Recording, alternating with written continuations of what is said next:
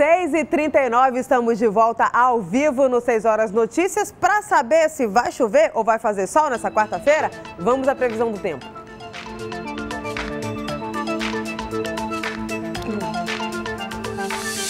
Tá aí a previsão segundo o Cipan em Manaus, tempo nublado, mínima 25, máxima 33 graus.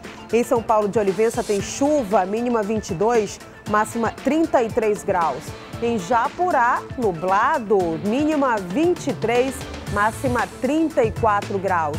E em Pauini, olha, chuva com trovoadas. É temporal em Pauini, mínima 21 graus. Friozinho bom lá em Pauini, hein? Máxima 32 graus.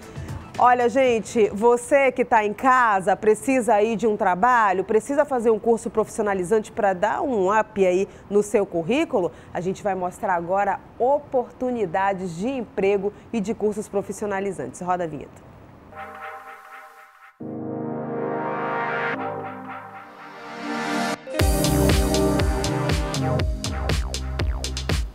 Ok. Estão abertas as inscrições para o processo seletivo de estágio em Direito para a Defensoria Pública do Estado. Luiz Rodrigues tem informações para gente, né, no nosso balcão de empregos. Bota ali na tela aí para mim.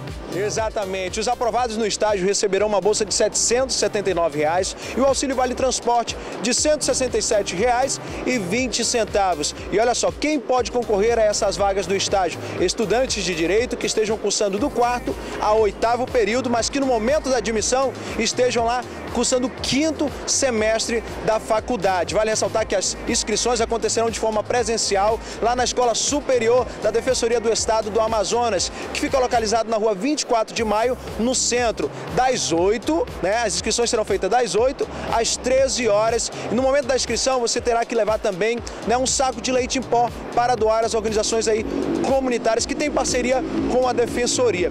E olha só, o resultado do processo seletivo ficará disponível no site da Defensoria, que é esse que aparece aqui na sua tela. Volto com você ao estúdio.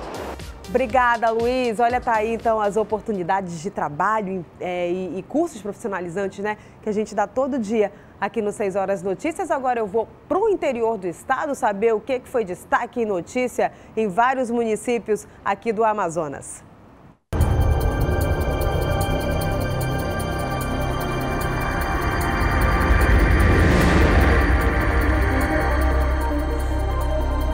Começo na Terra das Cachoeiras, lá Presidente Figueiredo, uma cratera tem aumentado cada vez mais, especialmente em dias de chuva. E olha, gente, isso tem prejudicado o transporte da produção e também o acesso dos alunos às escolas. Esse é um dos destaques aí do nosso giro pelo interior.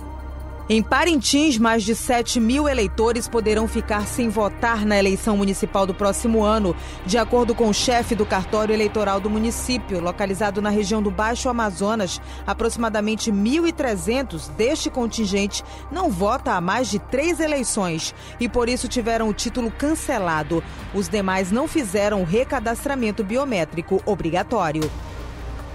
Em Presidente Figueiredo, moradores do ramal Marcos Freire, na estrada de Balbina, temem ficar isolados se o ramal se romper com as chuvas.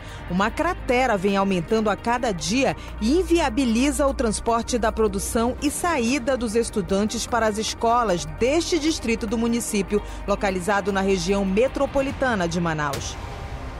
E na Reserva de Desenvolvimento Sustentável Igapó-Sul, entre os municípios de Borba e Careiro Castanho, na região do Rio Madeira, mais de 3 mil ovos de tracajás foram recolhidos pelos integrantes do projeto Pé de Pincha, que busca a preservação de quelônios. 6 horas e 43 minutos. Olha, a gente vai para um rápido intervalo comercial, agora com imagens da Pedro Teixeira. É isso, produção? Mostrar o trânsito lá nesse momento, pessoal que ainda não saiu de casa, pessoal que ainda não levou os filhos ao trabalho. Tá aí o trânsito aí na Coronel, na, na Pedro Teixeira, na cidade, né? Ali no Dom Pedro, bairro da zona centro-oeste de Manaus, o trânsito já começa a ficar carregado, hein? Então, se apressa aí para sair de casa para evitar atraso no trabalho e atraso na escola também. Não sai daí não, 6h43. Eu volto já.